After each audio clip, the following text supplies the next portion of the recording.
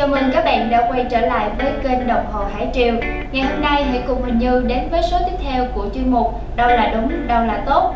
Như các bạn đã biết thì kính là một bộ phận không thể thiếu đối với một chiếc đồng hồ đeo tay thông thường Và nó được ví như là một người bảo vệ. Và trong video ngày hôm nay chúng ta sẽ đi phân tích và lựa chọn Một bên là đồng hồ mặt kính sapphire và một bên là đồng hồ kính cứng Để xem đâu mới là sự lựa chọn đúng và tốt nhất.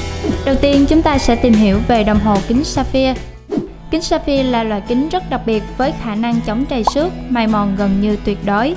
Mặc dù chất liệu sapphire đến từ thiên nhiên, nhưng tất cả kính sapphire trên đồng hồ ngày nay đều là nhân tạo và được tạo thành từ bột nhôm oxit trải qua quá trình vinyl để tạo thành khối sapphire.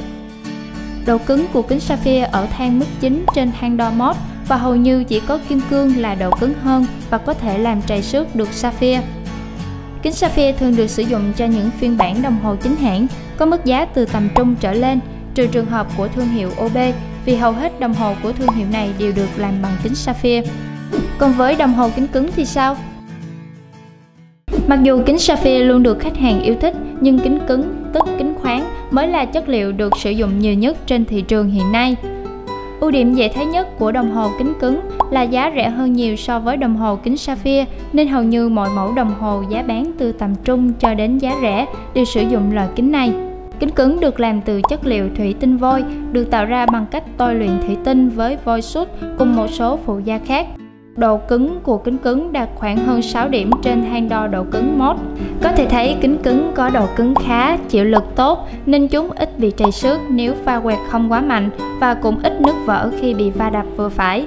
Trên cùng một độ dày thì kính sapphire nguyên khối dễ vỡ hơn so với kính khoáng. Kính khoáng cũng rất dễ đánh bóng nếu trầy, điều này cho phép chúng có thể đẹp và bền rất lâu dài. Vậy đồng hồ kính sapphire hay đồng hồ kính cứng, đâu mới là sự lựa chọn đúng dành cho bạn? Nếu bạn là một người đàn ông đam mê thể thao, thích đồng hồ có độ bền cao hoặc có nhu cầu lựa chọn những mẫu đồng hồ dưới 10 triệu thì nên lựa chọn những mẫu đồng hồ kính cứng. Còn nếu bạn là người đàn ông thanh lịch, ghét những vết trầy xước thì chắc chắn đồng hồ mặt kính sapphire sẽ là lựa chọn duy nhất dành cho bạn.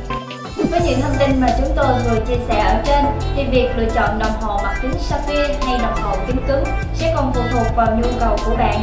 Nhưng theo hình như thấy thì việc lựa chọn đồng hồ kính cứng sẽ cân bằng hơn về mọi mặt như giá bán, vẻ đẹp, độ bền cũng như dễ bảo trì hơn. Vậy còn bạn thì sao? Bạn sẽ lựa chọn đồng hồ kính sapphire hay đồng hồ kính cứng? Hãy để lại ý kiến của mình ở phần bên dưới comment nhé.